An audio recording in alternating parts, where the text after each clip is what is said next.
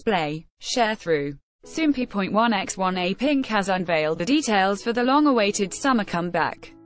See also, Apink confirmed to have already filmed music video ahead of July comeback on June 18. The group finally revealed their official comeback date and the title of their upcoming mini-album.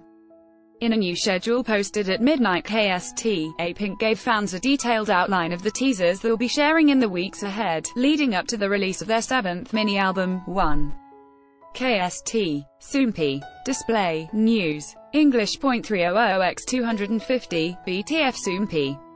Mobile. English .300x250, ATF Although Apink celebrated their 7th anniversary earlier this year with a special single, 1.